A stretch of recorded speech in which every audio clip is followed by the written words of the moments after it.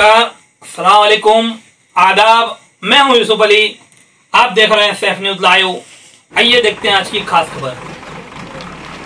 दोस्तों, जो आप तस्वीरें स्क्रीन पे देख रहे हैं, यह तस्वीरें हैं किसी के अरमानों के उजड़ने की, किसी के आशियाने को नस्तो नाबूद होने की,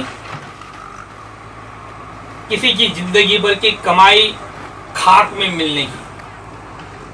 ये तस्वीरें हैं आज दिन में, नाला सुपारा के नीले नीले मोरे गाँव में, रेलवे की जगह में बसी एक बस्ती के उजाड़े जाने की।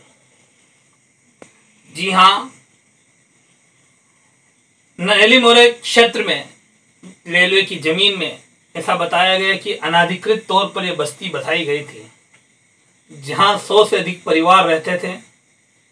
रेलवे ने आनंद फानन में आज कार्रवाई लेते हुए पूरी बस्ती पर बुलडोजर चला दिया। बस्ती पर क्या बुलडोजर इन लोगों के अरमानों पर चल गया?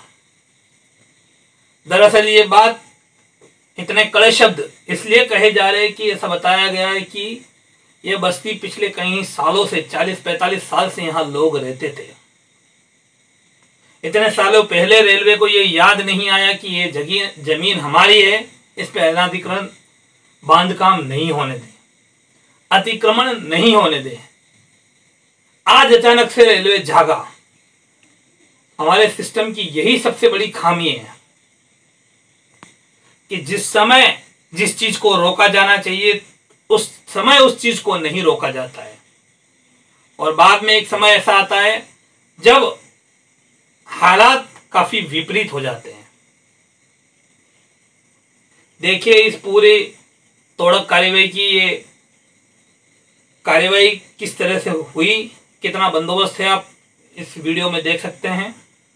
और इस तोड़क कार्यवाही से प्रभावित लोगों ने क्या कुछ अपने विचार व्यक्त किए हैं वो भी आप सुनिए वीडियो में। क्या बताएँगे रेलवे ने अचानक कार्रवाई की है? ये अचानक इन्होंने नोटिस भेजे ऐसा तोड़े। एक तो देखो बच्चों का एग्ज़ाम चालू है बच, छोटे बच्चों सबका फाइनल एग्ज़ाम चालू है। और ऐसे अचानक आके तोड़ रहे हैं। ये लॉकडाउन में हम लोग किस हालत से गुजरे हैं सबको खाने को नहीं था, कुछ नहीं था। तभी रेलवे ने तो आके हेल्प नहीं किया, कुछ नहीं किया। लेकिन ये जो अचानक तोड़ रहे, इस वजह से अभी लोग कहाँ जाएँगे? सबके पास में तो पैसा है नहीं कि लोग जाके अपना लेंगे, किधर ये करेंगे। तो यहाँ से जो ऐसी नाइंसाफ़ी कर रही है रेलवे तो कुछ ना कुछ दे के करे ना। अभी जो कर रही है, लोगों को तोड़ के देखो निकाले है। ये गलत है ना। सबको घर मिलना चाहिए जो भी है कुछ मिलना चाहिए। हमारे पास में सब डॉक्यूमेंट्स है सब है। तो आधे से ज़्यादा लोगों का तोड़ रहे हैं। तो अभी वो लोग कहाँ जाएँगे? क्या मांग है अभी अभी आपका? हमारी मांग है अभी तोड़ने का बोले है तो रेलवे की जगह रेलवे ले लो। लेकिन उसके बदले में हमको घर दो जो भी है हमारी हेल्प करो। कितने साल से रह रहे हो हम लोग यहाँ पे बहुत सालों से। हमारी पैदाइश यहाँ है हमारे बच्चे यहाँ हुए बच्चे बड़े हो गए। हमारी यहाँ एक ही मांग है कि हमको कुछ दो करके।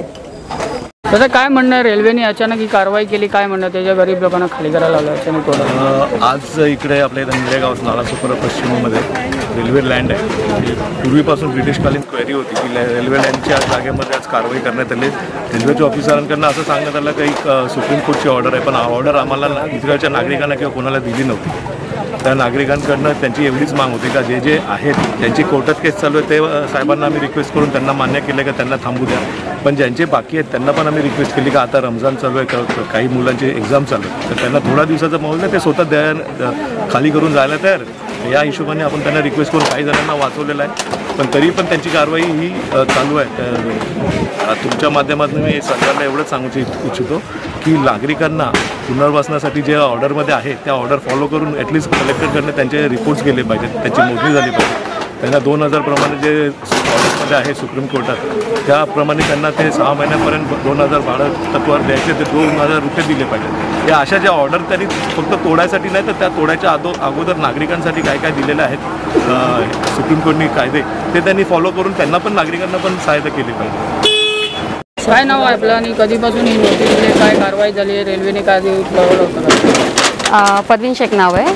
आम्हाला रेल्वेने नोटीस दिलेली की पण तुम्ही आठवड्याभरामध्ये खाली करा इकडची जागा. पण आम्हाला हे माहीतच नव्हतं की नोटीस आली कुठून आहे. कारण त्याच्यावर सही शिक्का काहीच नव्हता.